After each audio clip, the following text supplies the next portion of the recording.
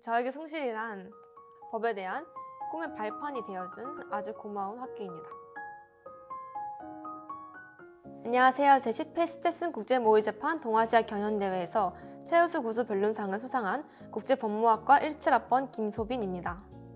스테슨 국제환경법 동아시아 경연대회는 대한민국 최초로 개최되는 국내 유일의 국제 모의 재판이고 매년 3월 혹은 4월 미국 플로리다주 소재로 되어 있는 스테슨 대학에서 열리는 가장 권위 있는 대회 중 하나입니다. 따라서 스테슨 대회가 열리는 그 한 주 동안에는 전공 수업들은 다 스테슨 국제 모의 재판 방청기로 개최될 만큼 그 학과에서 신경 쓰고 있는 대회이고 대회에 참가하지 않는 학생들은 자원봉사단으로 신청을 해서 자원봉사를 하게끔 만들고 있습니다.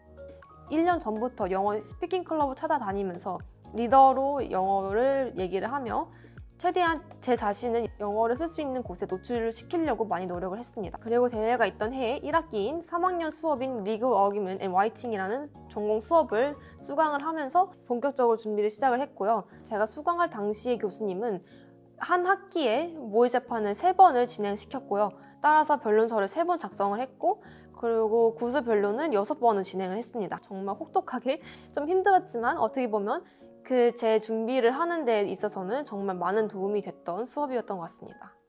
우선 저도 사람인지라 아, 받고 싶다, 아, 내가 받았으면 좋겠다 이런 생각을 했었는데 정말 실제로 제가 받게 될 줄은 정말 꿈에도 몰랐었고 따라서 너무 기분이 좋았습니다. 제가 1학년 때 너무 그 사실관계 안에서만 국한되어서 준비를 했던 게 가장 큰 이유였던 것 같아요. 근데 이번 준비하는 과정에서 판사님들이 사실관계 벗어난 질문을 했을 때 더 미래지향적으로 조리 있게 대답을 했던 것이 점수를 좋게 받았던 것 같습니다.